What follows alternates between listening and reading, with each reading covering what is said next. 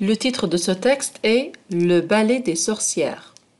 Dans une maison isolée vivait une sorcière. Elle s'appelait Ramina Gros-Poil parce qu'elle avait un gros poil sur le nez.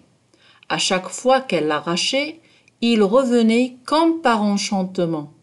Tout le monde se moquait de Ramina. Un jour qu'elle travaillait, on vint taper à sa porte. C'était un fantôme qui lui annonçait qu'elle était invitée au bal des sorcières.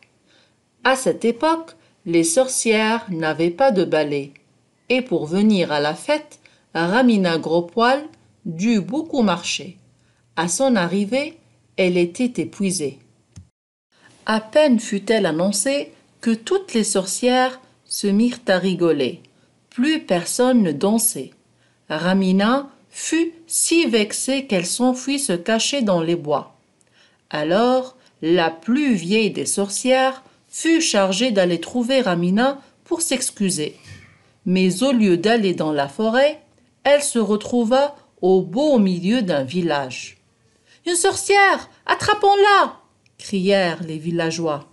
Ramina, non loin de là, entendit les appels au secours. Vite, une sorcière en danger. Soudain, Ramina eut une idée. Une branche, plusieurs exemplaires de son poil et le balai magique était né. Hop D'un coup de balai magique, Ramina sauva la sorcière du bûcher. C'est ainsi que les sorcières firent un accueil triomphal à Ramina Gros-Poil.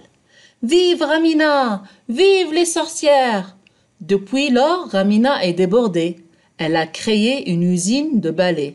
Et toutes les sorcières l'appellent désormais Ramina la reine du ballet.